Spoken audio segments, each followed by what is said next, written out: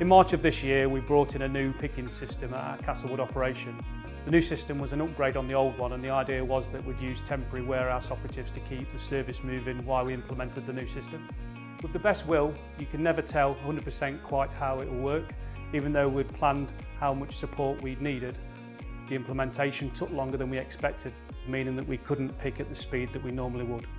We've worked really well with Castlewood for a while now because they know we can flex up and down to meet their needs.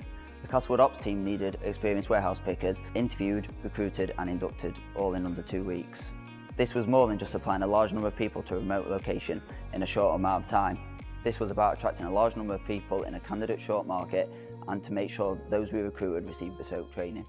We did this to make sure they were up to speed and able to make a difference from day one of their placement. Crucially, we gave advice to the client on shift times that would deliver greater productivity during this transition period. We did away with the usual 6am to 2pm shift and introduced a 6.30 till 3 and 7.30 till 4pm shift.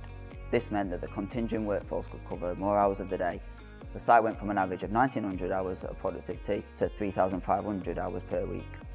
Blue Arrow's support didn't simply ease the transition, it allowed us to maintain service continually during a period of potential huge disruption. I found the recruitment process to be really seamless and I've since realised that it's continued into the job itself.